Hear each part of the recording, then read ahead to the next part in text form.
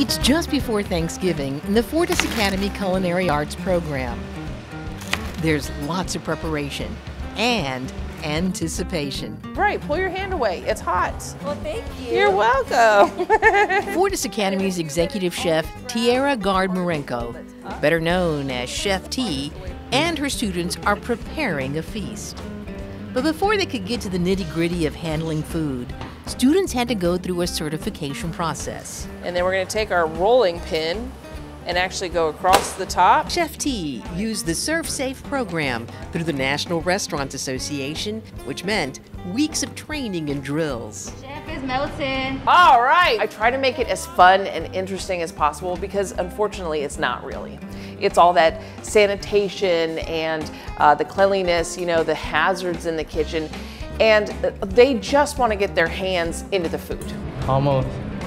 and we talk about all of the, the possibilities of what could go wrong and we do it in a very humorous way but it's so they remember it then we take off a few weeks we work on learning recipes stuffing it with butter and just oh man it's gonna make it so good then we bring it back we review and then we get the certification.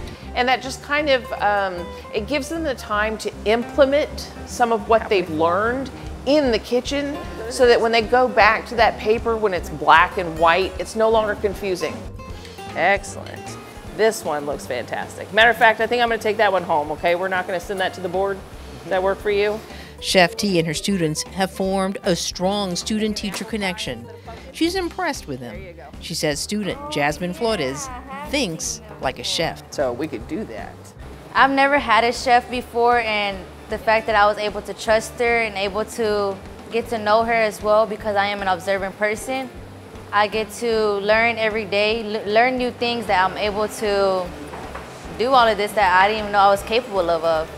And for Julian Guerrero, he knows this means an increase in pay, and he has aspirations to complete managerial training.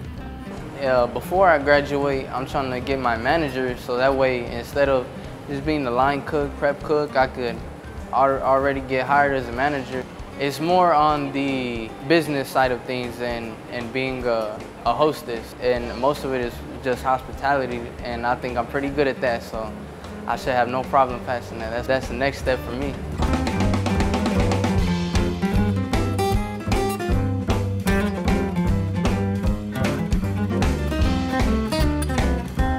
And after hours and days of preparation, the Fortis Academy chefs present a scrumptious Thanksgiving meal for HCDE board members to feast upon.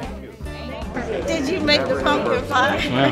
from scratch From scratch? Oh my goodness. I think everyone's gonna enjoy the food. That's just mostly what I'm hoping for, or I know it's gonna be. Cause we make it, we make it uh, with love.